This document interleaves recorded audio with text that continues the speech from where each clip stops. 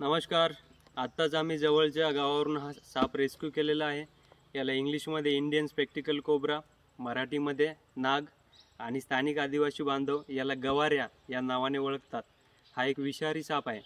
हा चावल्याच्या नंतर लवकरात लवकर जवळच्या सरकारी दवाखान्यात आपण जायला पाहिजे. कुठल्याही झाडफूकवाल्यांपाशी न जाता गव्हर्मेंट हॉ हॉस्पिटलमध्ये आपण जायला पाहिजे. या सापाबद्दलही समाजामध्ये खूप साऱ्या गैरसमज आहेत अंधश्रद्धा आहेत. असं म्हणतात की हा साप बिनच्या तालावर डोलतो म्हणजेच नाचतो. तर तो बिनच्या तालावर डोलत किंवा नाचत नसून स्वतःच्या प्रोटेक्शनसाठी जिकडे मुवमेंट होईल तिकडे तो त्याचे हुड म्हणजेच फन नेत असतो. आपल्याला असं वाटतं की तो त्या बिनच्या तालावर नाचतोय पण असं काही नसतं.